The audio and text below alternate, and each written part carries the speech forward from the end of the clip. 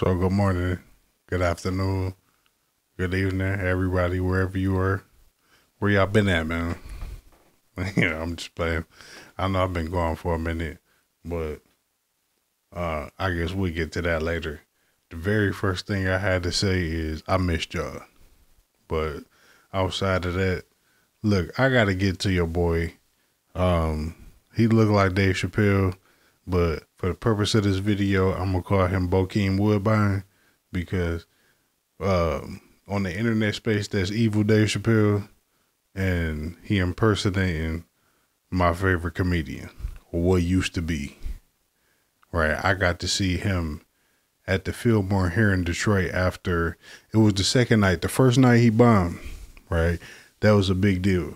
And he even told a story about that where he was saying he look took two hits off of some weed. It didn't go well. He knew he was gonna buy him, so that turned into a thing. But that second night was pretty good. Um, I say pretty good, and that's I I don't know. I enjoyed myself. I couldn't I couldn't complain about the money that I spent on the ticket because you know it was a pretty good night, but in comparison to a lot of the specials that he's dropped, in comparison to the, a lot of the specials that he's dropped since then, it's like uh, this can't be the same dude. This can't be the same dude that I grew up watching. Like I think for what it's worth, for me, that's like the standard of Dave Chappelle. I don't think he's done better than that special that he did in San Francisco. That was like like he was just clicking. He had it all together. After that, it was Africa, and you know we know the story. After that, he came back with his his leg rolled up, and um, won't even need to touch into that. But you know he he's been a different person since then. So he got the next Netflix specials, and uh, apparently, you know, things started to turn around for him since then. But the one thing I notice is this is a different person. You know, body structure, even his head shape, like a lot is different about him, which you can take in whatever direction you want to take him, but that's not the same person. And we can speak about that philosophically or physically or whatever. It's it's not even the same kind of comedy. So I got to watch him and his critique of Katt Williams and he was just speaking on like the first thing I noticed was like he was kind of complimenting him in the beginning. It was like, you know, he, he messed with Katt and all of that stuff. He didn't really have nothing bad to say about him as a person, but he was questioning how Katt was going at other entertainers. All right, they both in agreement about they against this uh they against the powers that be. So he said the Illuminati, he against that. But what what part of the game is taking out Cedric the Entertainer? And Katt is one of the best painters in the game. Why is he painting such a bad picture of black people? And I think that's weak. That's what I hear from certain black people, and I see it on the internet. That's some of the weakest stuff you can come up with. Seriously. Like I, I really got bothered when I was listening to him talking because it was like, are you serious? Like Katt, the whole premise of Katt getting on Club Shay Shay was responding to some of the things that were said on that very platform. He's responding to that. So these people brought him out of, you know, whatever cave he was sitting in where he didn't have nothing to say. And he got to respond to it. He got to set the record straight. That's how they started out the video he's setting the record straight. So he didn't come out just firing at people. He had a couple of people caught strays, but like it wasn't just out of nowhere. So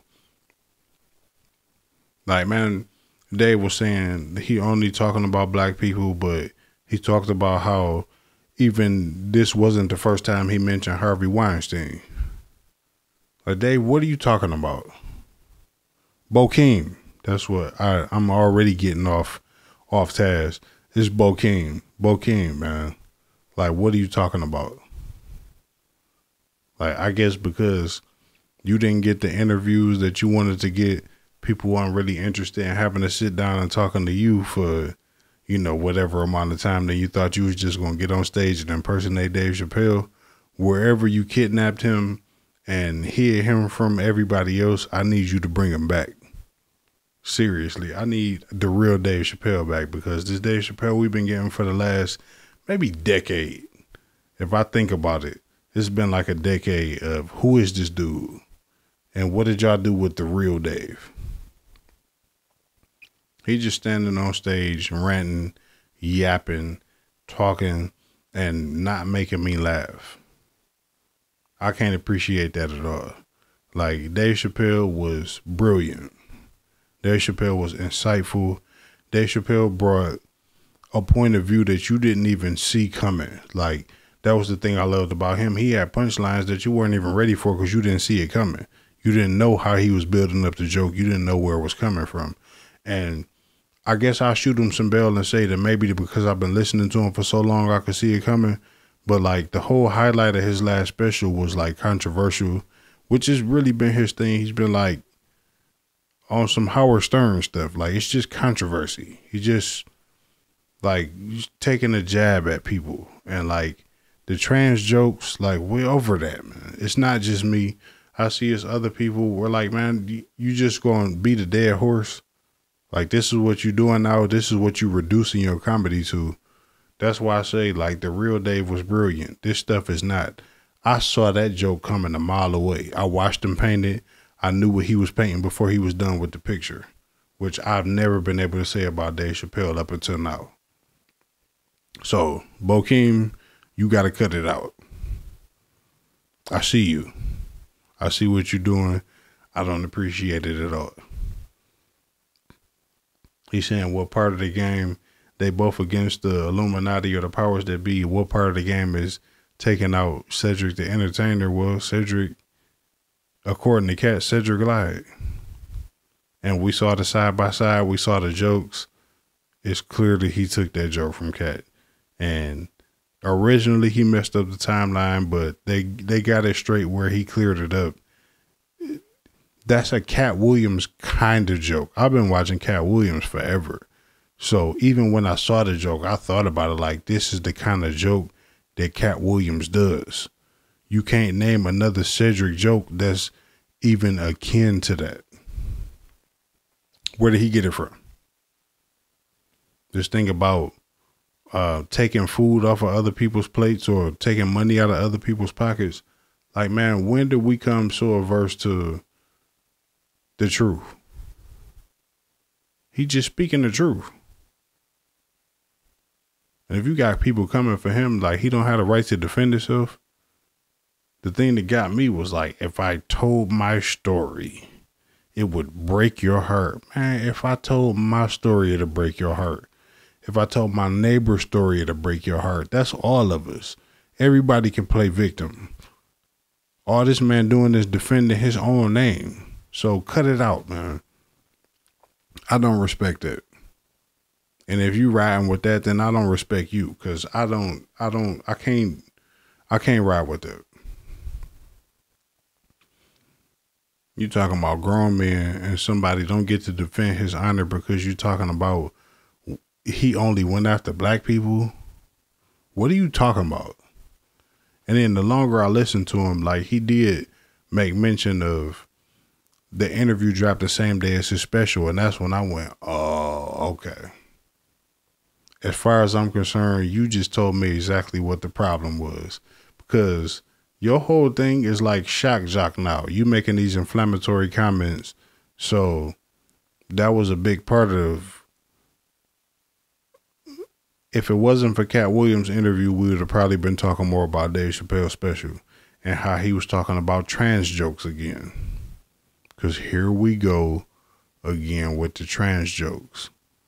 Like you just beating a dead horse to death. like I don't I don't understand how you could think that's even interesting to people at this point now. Like again, that's what you're doing? And you want us to divert our attention from something else to talk about that, nah. I'm not messing with it.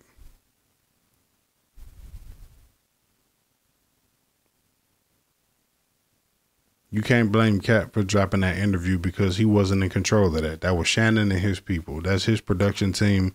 They decided when to drop that interview. I don't know exactly when he recorded it, but I know it dropped on that day, and you know that too because you made a mention of it. So that's where I was like, "No, nah, this can't be the same Dave because we not used to seeing him, and all people are human. So again, I'm gonna shoot him some bell on that and just say that we are human. So we susceptible to a whole lot of stuff that maybe you wouldn't expect. But I just heard jealousy. This dropped the same day as you. If it wasn't for that, we'd be talking more about your special.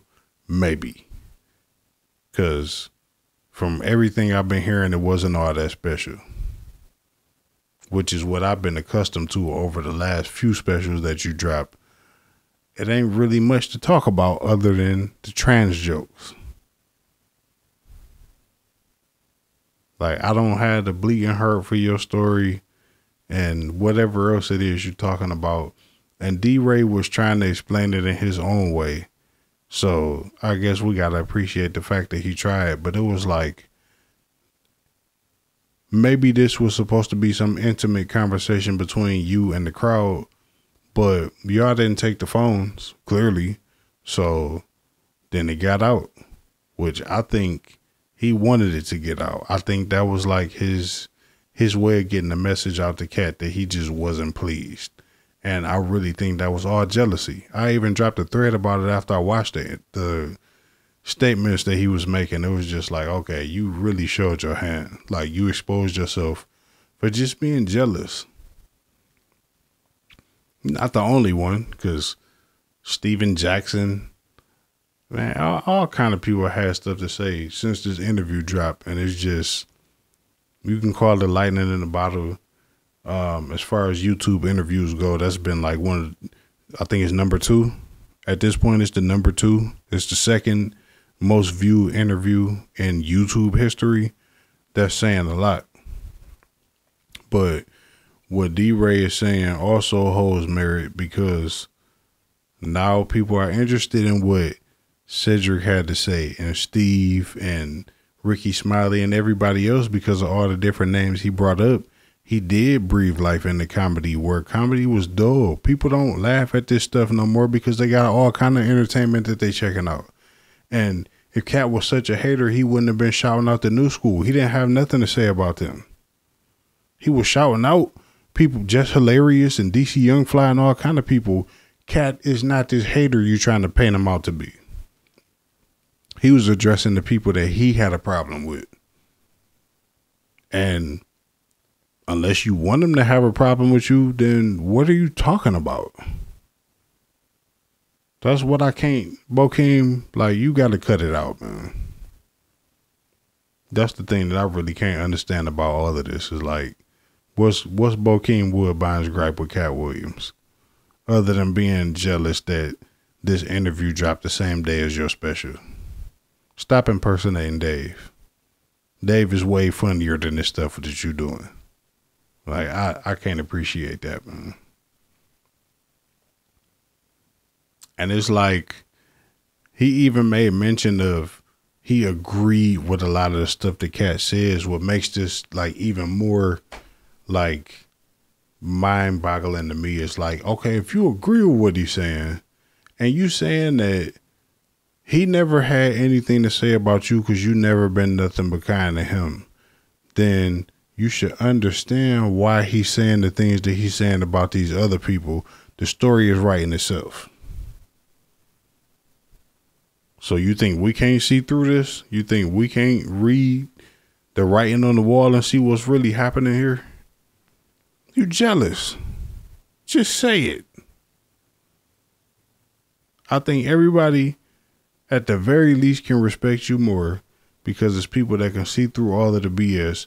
You just jealous, man. Let your feelings go. That's really all that this is.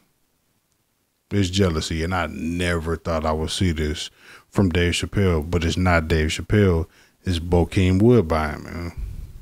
We got an impersonator on the loose, and he filling in for all of Dave Chappelle's appearances, and he just on the prowl. Like he just going wild with it. He's standing up and doing, you know, hour, two hours just talking to people. That's not what we show up to see Chappelle for, man. He was much more brilliant than that, man. You you gotta stop that. I'm not falling for it. You can't fool me, man. But it's just weird thing where like, all right, you said you agree with everything. You, for the most part, you agree with Katt. You didn't have a disagreement, which is another like nobody's calling Katt a liar. So what's the problem? Nobody is calling Katt a liar. Nobody's suing them for defamation. None of that. Y'all getting after what's the girl's name? Uh, Tasha K. Like they, how many people that had lawsuits against her? Like you got to be careful about what you're saying out here because people will sue you. Nobody suing Katt, so that says a lot. He never did anything to you, so then you just gonna come at him like that? Like he made sure to speak highly of you in more than one interview.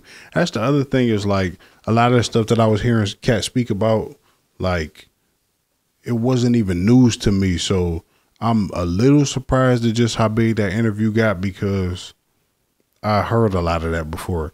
And even like like earthquake collateral damage. But I heard Corey Holcomb talking about how earthquake was illiterate. Earthquake like Kurt Corey been at Earthquake for a while, but that's because of some stuff that happened at one of his shows. And if you're not uh faithful like 5150 uh viewer, then you wouldn't know about that. But Corey spoke on Earthquake a long time, a long time ago. So again, like a lot of this stuff is not even news to me. It's just like it was just like whatever to me. I just thought the the format, the actual interview, two and a half hours, I was entertained where I sat there and watched the whole thing all the way through. And I laughed a whole lot. It was funny to me because Katt is just funny. And then even when D Ray went to talk about that, like Dave couldn't hate on that part, or Bokeem. Bokeem couldn't hate on that part because he even said it was funny. I understand, man we got this weird thing now where we acting like, "Are you hating on a black man? You hate you can't talk down on a black man. We talking about black people in public. White people beef in public too. What is this thing that we're doing? Y'all not tuned into it, so y'all don't know. White people be beefing in public too. But to act like we tearing each other down because this person is this person clearly came on at the beginning of the interview and stated that if it wasn't for people coming on this very platform and saying what they had to say, he wouldn't have had nothing to say at all. That was the reason for him jumping out like the the way he did. So, like, get over yourself. And while we have such a problem with the truth or whatever person's version of the truth, it's just weird thing we doing now. Like, why can't we all just get along? Because we don't. You get along with everybody at your job. You get along with everybody in your family. Really, that's the game we gonna play. That's what's bothering me. It's like whenever we're in a situation where we holding people accountable, then people act like it's hate. No, man, we just holding your feet to the fire. Stand on it.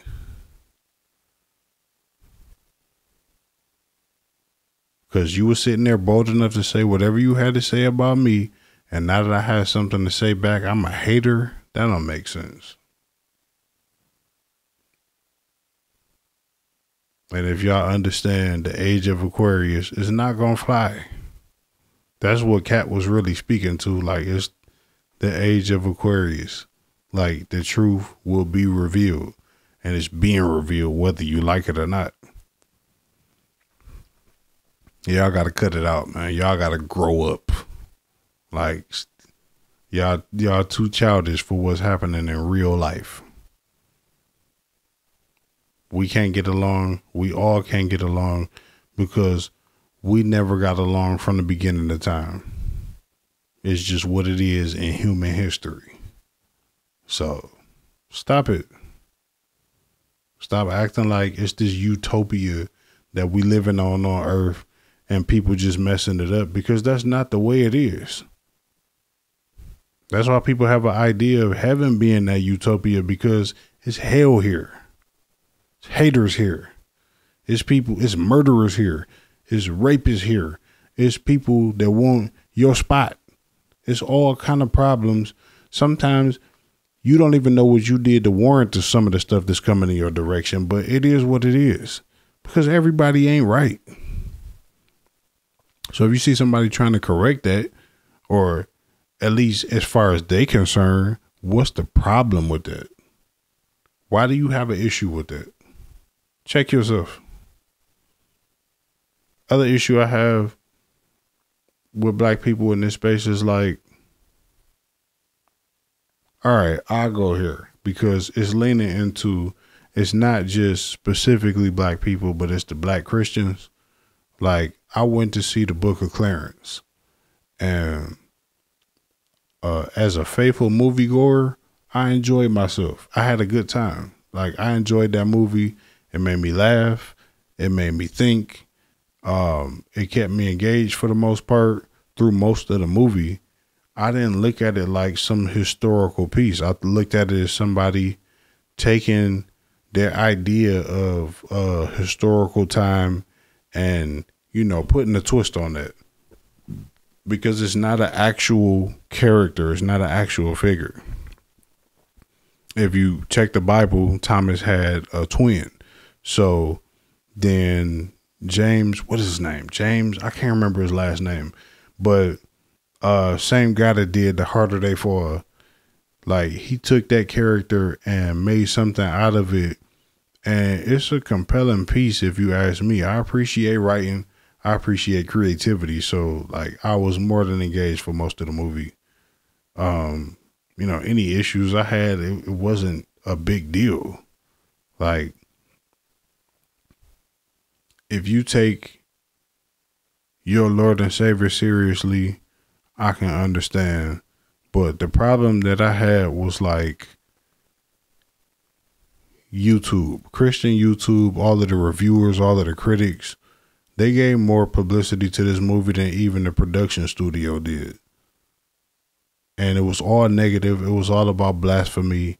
And for the most part, from what I saw, was people that didn't even watch the movie. How do you have a critique on a movie you didn't even see? How is that possible? You took one or two at the most trailers that you watched and you decided this was a blasphemous film and you know this is a problem and this and that. And i'm just like man this is so ridiculous. Like how do y'all get away with this? And how do y'all get people to actually sit down and give credence to the review that you're doing when you didn't watch the film? You don't know. You don't know. I try to do this without giving spoilers. It's a character arc. It's a person that starts at a certain point and by the end of the movie it's something different. But you can't get there when you sit there and watch a trailer and decide I can watch a trailer and say I'm not interested in that movie. But what I can't do is give a review on it. What I can't do is recommend or not recommend a movie to a look, y'all don't need to see this because this is blasphemous. How do you know? What's what's the evidence you have to support that when you didn't sit down and take the time to conceptualize what you actually watching, you didn't watch it. That makes sense to me. I don't understand that. That's why I have a problem with like man, this now I'm getting to see like I said before, like people have this visceral reaction when it comes to Christians. This is why. Christians, this is why don't nobody like y'all. If we can all say that it's no perfect people in the world, then stop standing on your platform, your mountaintop, your high horse, and acting like people so beneath you. But you can't do that, man. It's like a disease. Like there's so many people once they convert to Christianity, then they forget that they humans. And they start looking at everybody else like they're not even worth the time. Like this is why people don't like you. Because you could take a film that you didn't even see and turn it into a 20, 30, 40 minute video of your summary of something you didn't even you got a, a minute and a half at the most out of a, a trailer and turn that into a whole video. And people are supposed to take that seriously. I can't take you seriously. You a whole joke because you don't know. Again i'm trying not to spoil the movie for anybody that's still interested in watching it. And it's not an endorsement. Like I'm not being paid to talk about how good or bad the movie was. It's just something that really irked me. Like I was sitting there and I I mean several reviews. I'm just like, okay, let's let's just see what this person is talking about. And it was review after review after review of people that didn't even see the movie, can't tell you about it. And I mean from the Christian standpoint, and this is blasphemous. This is blasphemous. This is blasphemous. How do you know? How do you know? Because of Jay Z's involvement? Because of what you got from a couple of clips from an interview? I don't support Jay Z. If you know me personally, you know exactly how I feel about him. I don't even bring him up when it comes to this movie because he's not the creator. He's involved to a point, but he didn't write this movie. He didn't direct it. He didn't cast the film like this is not his movie. So it, it's it's weird. I think a lot of y'all should be ashamed for leading people off the path because your creator is the ultimate judge if you believe in him the way you're supposed to. And I think if you know the book the way you're supposed to, then you can speak to Saul and Paul which is the same person. And the way his character arc goes, if you know the story of his life, then this movie should be even more relatable to that. You should understand it on a different type of level, but you can't even open your mind up because you're so rigid and you're so closed off and closed minded that you can't even be open to a film. This is not real life. It didn't say it was based on a true story. It didn't say it was historical. It didn't say that it was factual. It's a movie. And that bothered me so much. The more I kept watching all of these reviewers that are actually being supported by people, it's like Y'all don't think y'all false prophets leading people astray? Like none of that is getting through to you that you actually leading people in the wrong direction because you don't even have all of the information. But you willing to sit down with the confidence that you do. You should be ashamed of yourself. I don't like that and it bothered me more than I thought it would. But the more videos I watched, it just kept getting to me, and it was like, man, all right, we got this thing now. This is the other thing that was bothering me is like now we do this thing where it's like I don't I don't agree with I don't agree with everything that this person says. Well, all right, find me the person that you agree with everything they say, so you can bring some validity to that statement. What are you talking about? Just like nobody's perfect there's nobody that you're going to agree with everything they say. What does that mean? What's the point of you saying that?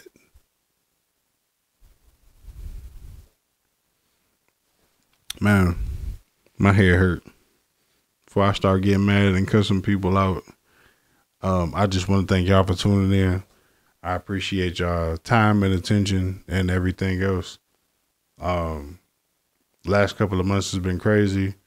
Don't think that I haven't been recording. I recorded several videos that just didn't go the way I wanted them to. And it's not that I held them back and then put them out because I didn't want to. I had one where the audio failed. I had one where the video failed, where I recorded and the file got corrupted all the way at the end. I had one where I had the audio and the video. And when I put it into my program to edit, I'm going through process and I'm all the way done with the video. I get to 99% and it's an error. So it's been all kind of crazy stuff going on that just made me like take a step back. I was talking about Diddy. I was talking about TD Jakes. I was talking about TD Jakes. And then right after that, uh, you know, some crazy stuff came out.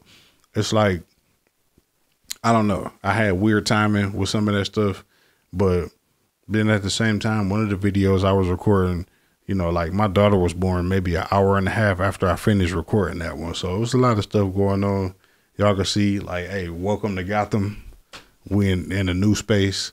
Like a lot of stuff has changed. Um, I'm not going nowhere, so y'all don't got to worry about that. But I'm glad to be back in my space, and you know whether I I get all, look, it's been chaos around here, so you know if I'm recording and y'all hear some wild sounds, I'm gonna try to keep the background noise down as much as possible. But I just had to go.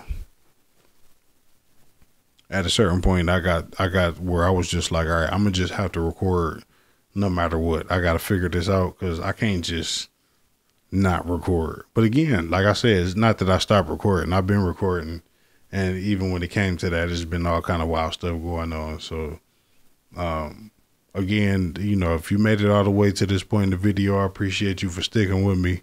I appreciate you for sticking with me in general, checking out these videos, supporting me, and just watching this channel grow. Um, it's kind of hilarious. Again, as much as I think about where I started, even the space where I was doing the reaction videos, um, if I could show y'all where I was recording and I can show you what I'm doing now is is is night and day. But it looked more like day and night. So um I don't know. Just be on the lookout. I'm not done. I'm just getting started. You know, my boy gave me an analogy about you know gestation period and uh, you know a baby being born and all that kind of stuff, and it really just made me put it in perspective. So I stopped trying to rush the process. I'm having fun with this. I'm loving to watch myself grow. I'm loving to watch what my channel has turned into to you know from start to finish. Where man, I think you know, of course, my first video was dedicated to my granny, and after that, I was doing one about Black Lives Matter uh, that video wasn't even five minutes long. So um, to grow from that point to where, you know, honestly, it'd be different if I was talking to somebody else. I could talk for a whole lot longer, but even by myself, like y'all have no idea how long I could talk. It just depends on the topic. Like I, I, I clear forty five minutes to an hour. Sometimes I cut pieces of the video out, but that's nothing to me now, which is like a huge development for me. So I'm proud of that. I just been giving my spell, giving myself the space and the grace to watch myself grow and see what I turned it into. Um, so I'm here. I love it. I love y'all, and I'm out of here.